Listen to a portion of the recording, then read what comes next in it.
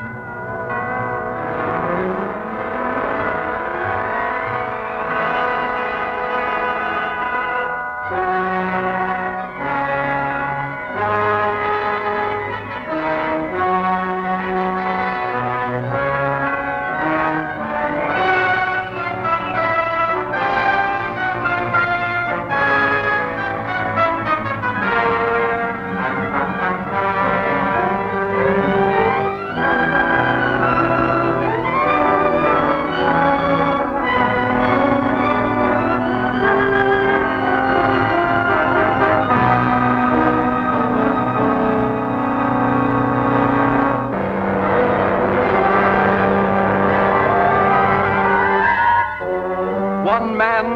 courage of ten. No one but Captain Midnight could withstand the onslaught of Shark's gang. Yet when he escapes and returns to capture the ringleaders, they set a trap for him.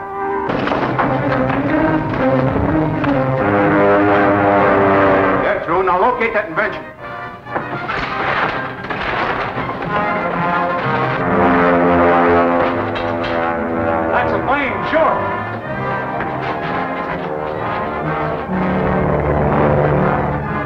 All as sure as you're born. Now this is our chance to finish him. Morton, get that truck and keep from landing. Great. He won't land on that for you. Come on, we can't watch him. We gotta locate that invention.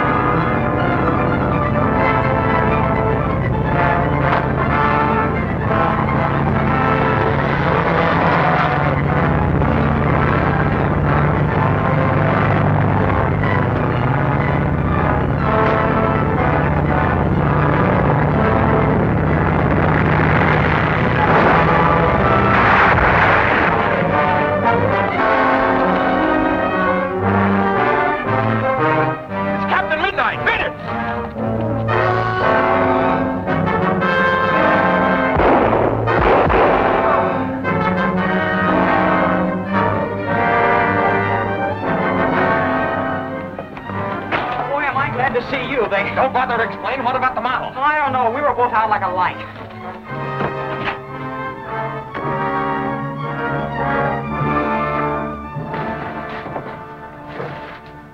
No need to worry. The model's safe. Now tell me what happened.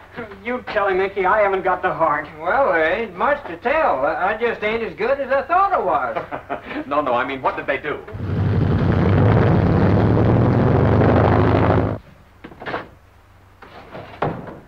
They must have put the pressure on Edwards, and he told him the model was here. Listen.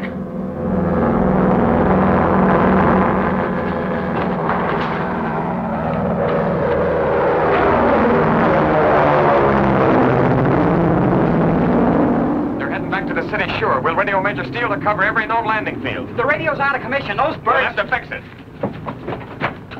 Number six calling S1. Number six calling S1. My answer still is and always will be no. Now kill me and get it over with. Well? When you come to the radio, sir, plane 27 reporting.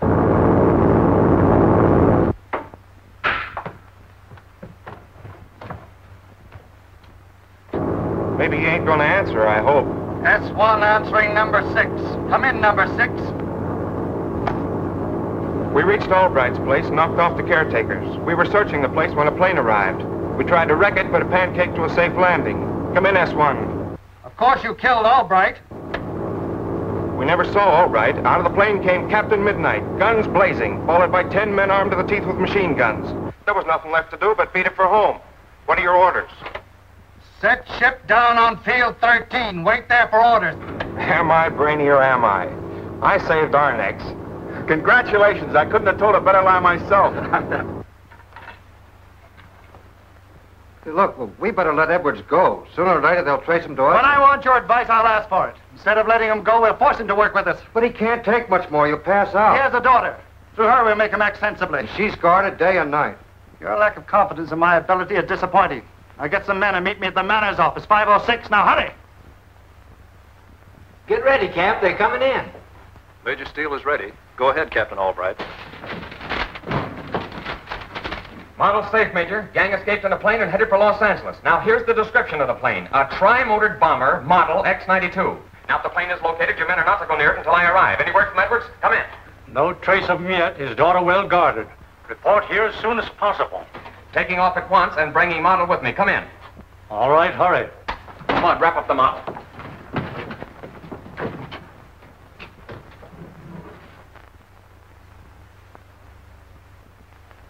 That house is guarded like a government mint. You'll never get in. To the contrary, the girl will welcome me when I offer her the opportunity to be reunited with her father. Get her on the phone for me. The wire may be tapped. It is, but by our number nine. If you report anything of interest, do as I say.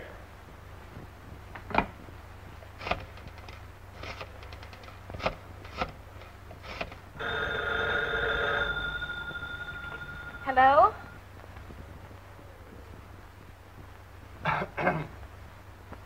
Hello, Miss Edwards.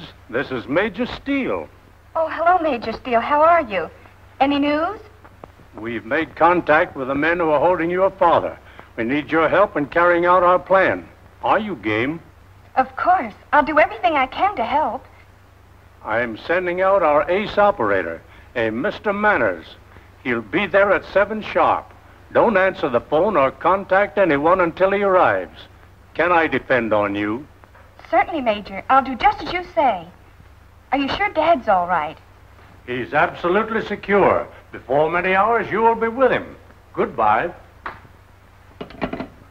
See how easy things are when you use your brain? I gotta hand it to you, Chief. That'd have fooled anyone. I closed my eyes and I thought old man Steele was in the office. Now, this is the plan. I'm going to bring her down here. And when she arrives, you men are to... We've covered every landing field within a radius of 10 miles. That plane didn't land at any of them. Well, that means they've got a hidden airport somewhere. Wherever it is, we must find it and destroy their squadron of bombers. Right. Now we better phone Miss Edwards. You'll have to stall her somehow about her father. Well, that's a tough job, considering we haven't even got a trace of him. Uh, get me the Edwards home on the phone.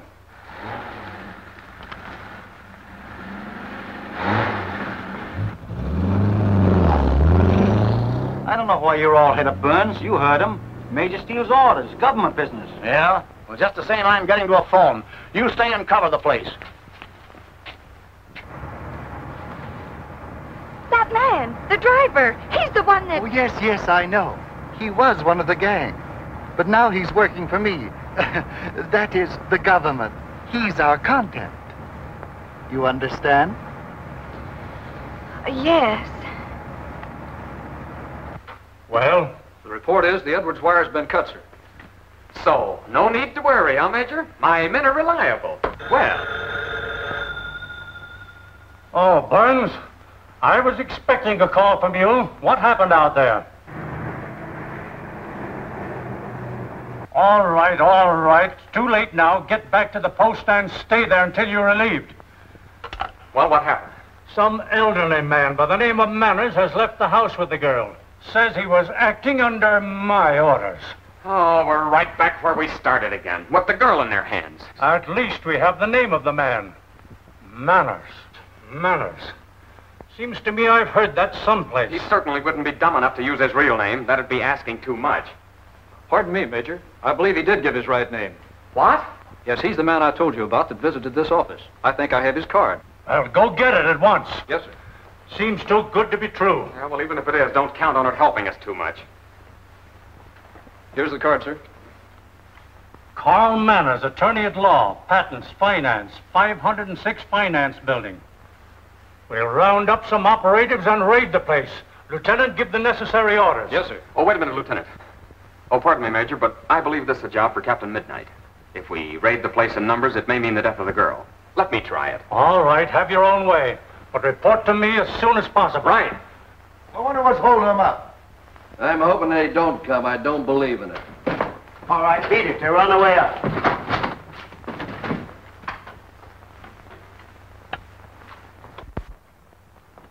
Here we are, safe and sound as I promised. You'll soon be with your father.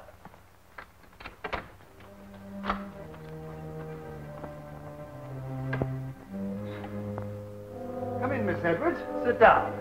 There may be a slight wait.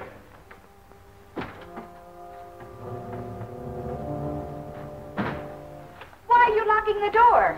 To secure us against interruption. All right, my man, my bargain is completed. Now do your part. Produce Mr. Edwards.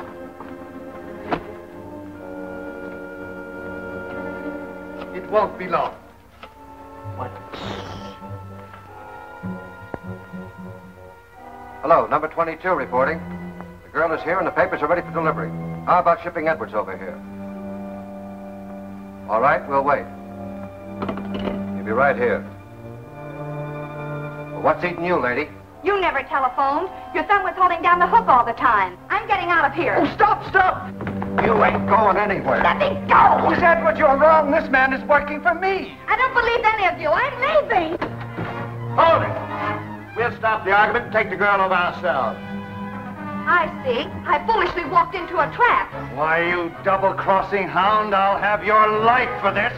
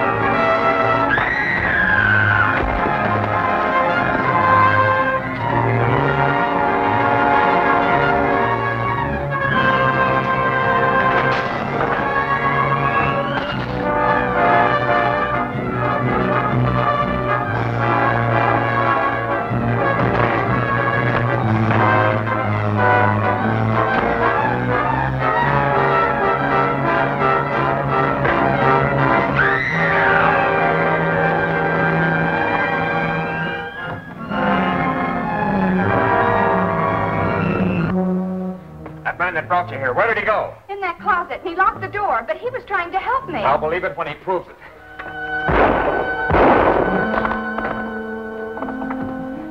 Why, he's gone. Certainly.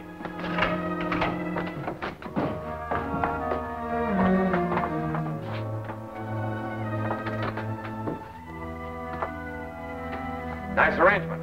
Do you still think he's trying to help you? No, here's the wig he wore. Disguised, eh? That means I missed a big one of the gang. Perhaps their leader. You're disguised, too. Who are you? My identity can wait until I can get you to a safe place. He beat you all as usual. It is useless to proceed further until we definitely dispose of this Captain Midnight. I have a plan that cannot miss. We'll use the plane they're looking for. I'm willing to sacrifice many planes to be rid of this menace. Bang. Radio them in the Field 13. I have worked for them. Yes, Master. Martel, Yes, sir. you come with me. I'll use your voice. The rest of you stay here at headquarters. Too bad, Albright, you arrived too late last night to be in on the excitement. Captain Midnight arrived in time to save Miss Edwards. But the man we believed to be the leader of the gang got away. Well, I'm sure if he got away from Captain Midnight, I wouldn't have been of any help. If you gentlemen are carrying on this act for my benefit, you're wasting your time. I've known for some time that Captain Midnight and Captain Albright are one and the same.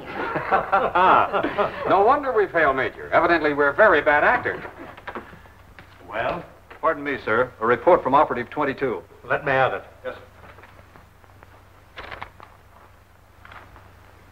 sir. Listen to this.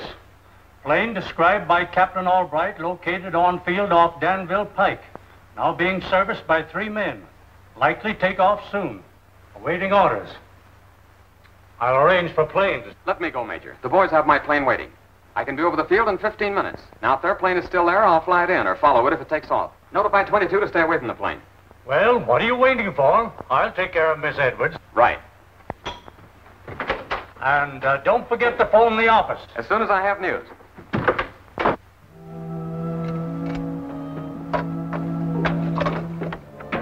That thing out of here.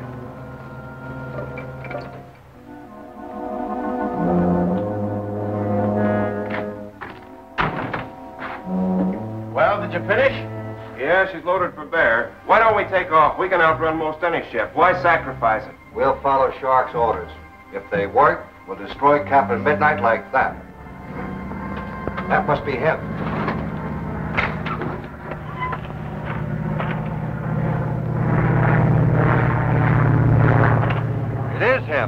Well, that's just dandy.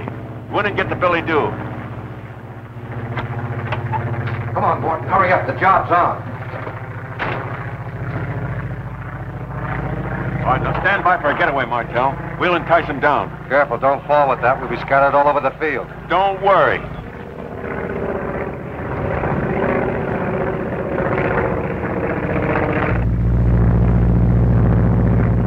Looks like this part of our secret squadron is arriving just in time, Captain. Three of them are making for the plane in a hurry. Secret squadron, my eye. They've spotted us, that's what. Likely get on our tail and blow us out of the sky.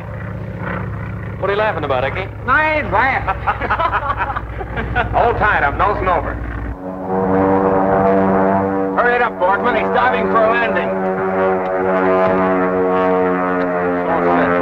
All right, Captain Midnight, you can have our plane. With Ivan Shark's compliments. Let's beat it.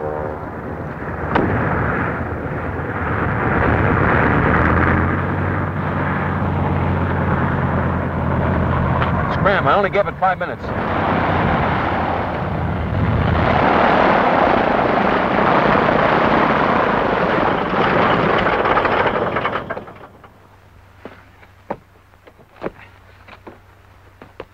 Well, we're too late. Our birds have flown and left their wings behind them. I didn't expect them to wait. It's a break that they left the plane.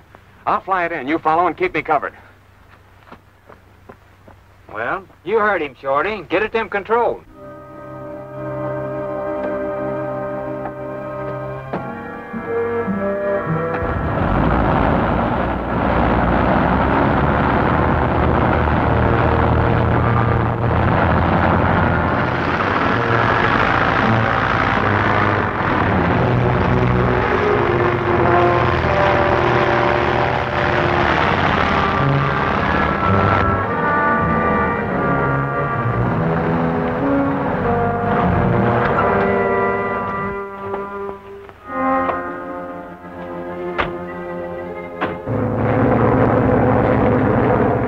He fell for it.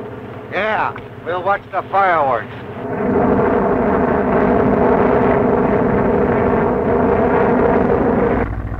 The ship is really fast, Icky. I can't keep up with her. All you can do is your best. Keep trying.